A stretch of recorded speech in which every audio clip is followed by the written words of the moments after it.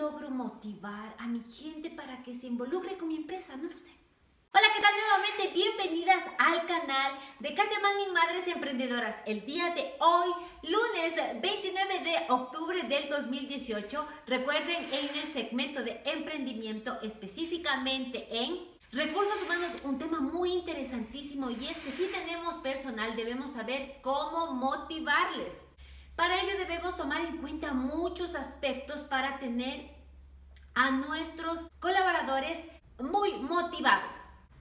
Primero debemos empezar en que debemos tener una buena comunicación con nuestros empleados, comunicarles sobre la visión,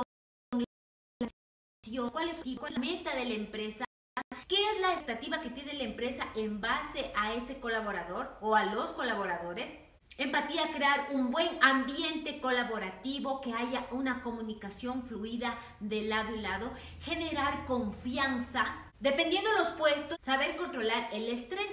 También recordemos que como empresa, como emprendedores, debemos entregar todas las herramientas, generar el ambiente, ya sea el equipamiento, herramientas para que puedan desarrollar bien su trabajo. Importantísimo también manejar el aprendizaje. Debe haber un aprendizaje constante. Nosotros como emprendedoras y como empresas debemos estar velando porque nuestro personal esté constantemente capacitándose para mantener obviamente a la empresa en la innovación. Ojo, también importante es saber administrar el tiempo. Es decir, sobre un objetivo, una meta, una tarea realizar, el colaborador debe saber que debe saber administrar el tiempo.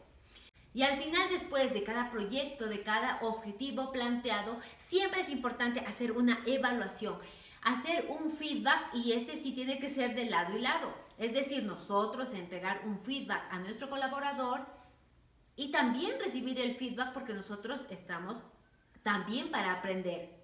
Se deben manejar diferentes incentivos y ojo, no necesariamente los incentivos deben ser de dinero.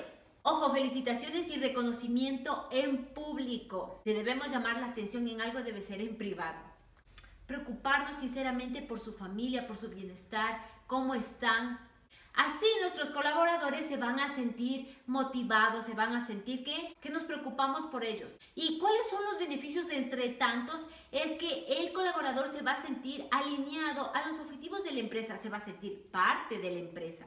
Obviamente se van a sentir felices, va a haber mucha proactividad, va a mejorar la productividad de la empresa. Hasta aquí el video de hoy muy cortito. Si quieren escuchar más sobre cómo tener motivados a tus colaboradores. Les invito a que escuchen el podcast de Madres Emprendedoras, lo escuchan en iVoox y en iTunes.